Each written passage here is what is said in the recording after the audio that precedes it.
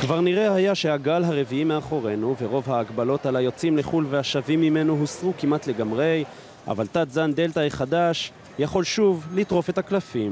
שלשום פורסם כאן על המקרה הראשון שאותר בישראל והיום דווח על לפחות חמישה מקרים נוספים שהתגלו. הוא כרטיס צהוב שמטריד אותנו גם אם אנחנו בהחלט במקום של ירידת התחלואה ואנחנו צריכים להיות זהירים. אז נכון כיום יש שישה מקרים. בעיקר אנחנו מדברים על אנשים שהגיעו ממולדובה וככל שתהיה תחלואה בעייתית, חלק מהכלים שיש בידינו זה לסגור את המדינה ולא לאפשר לא הגעת תיירים ולא נסיעת ישראלים. ועל אף הדברים האלה של ממונה הקורונה זרקא, שר הבריאות התבטא היום קצת אחרת. הקורונה שהצלחנו להתגבר על הגל הזה בלי לעשות סגר, בלי לסגור שום דבר, בלי לסגור את מערכת החינוך.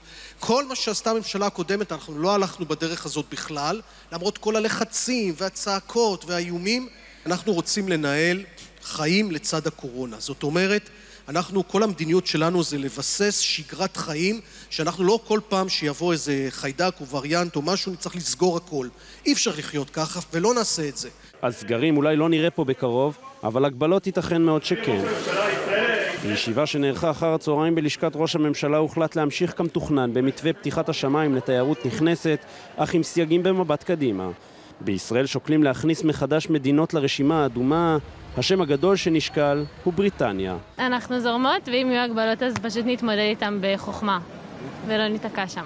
אנחנו בצ'יל שלנו, בכיף שלנו, נזהרות, הכל בסדר. בינתיים בנתב"ג לא נראה שהכרטיס הצהוב שהוציא לנו ממונה הקורונה הרתיע יותר מדי את הנוסעים. התחסנתי פעמיים, הייתי חולה שנה שעברה פעם אחת, זה לא היה מאוד משמעותי.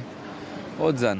אנחנו כולנו אימהות, אנחנו שומרות על עצמנו, מגינות על עצמנו, אבל לא עוצרות את החיים שלנו. הפחד לא מנהל אותנו. אנחנו חיים לצד הקורונה. נראה שהציבור בישראל שבע הגבלות ורוצה לראות עולם, בתקווה שיהיה אפשר להמשיך לחיות וגם לטוס לצד קורונה.